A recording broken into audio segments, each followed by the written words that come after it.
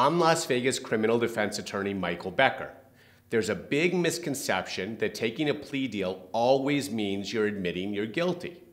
But in Nevada, most defendants have the option of entering a plea without admitting guilt. This is called an Alford plea, also called a no contest plea or a plea of nolo contendere. Alford pleas may be a wise choice for defendants who do not want the risk of getting a guilty verdict at trial and just want to get their case over with. By taking an Alford plea, defendants are admitting only that the state's case against them is strong enough to convict them, not that they are in fact guilty. Functionally, Alford pleas have the same end result as straight out guilty pleas.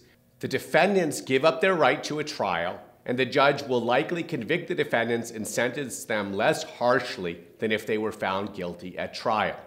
But Alford pleas give defendants the peace of mind that though they may be adjudged guilty, they can still maintain their innocence.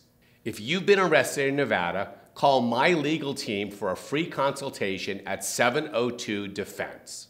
Our experienced attorneys at the Las Vegas Defense Group will do everything to try to get your charges reduced or dismissed.